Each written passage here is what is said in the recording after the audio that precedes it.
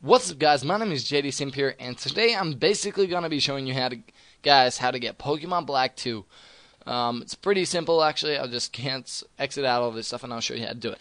First of all, you wanna look up this program here called DeSmuME. For Windows or Mac, it works on both, and I'll be releasing both download links and everything else that you need. Um, so you want to click on this here, search, and then yeah, and then click on the download button. And this is a safe download. Don't worry about it.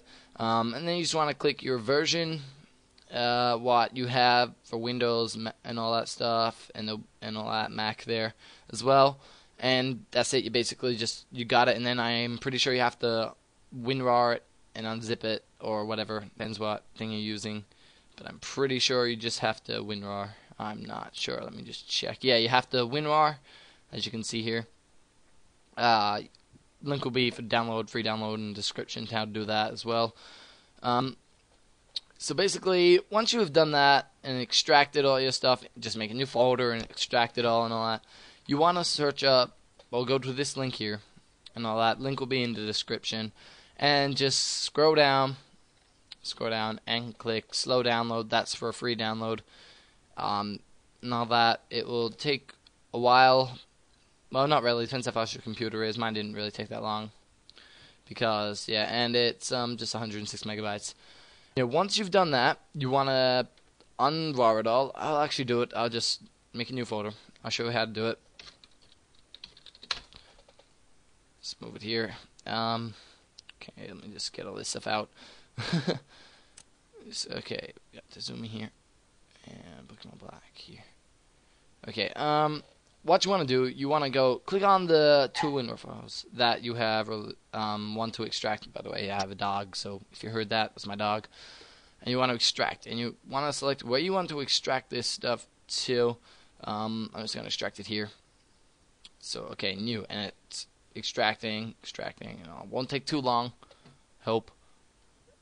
All that, yep, and it should be finished extracting in just a second. And as you can see, it has. Now if I go into the new folder, it'll be all here, and just make a new folder inside that saying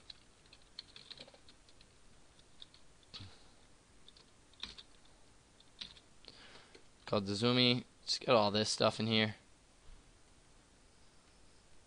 Don't really need a change log, and that's your program that you're going to use start up. Next thing you want to get, I got the wrong thing, sorry.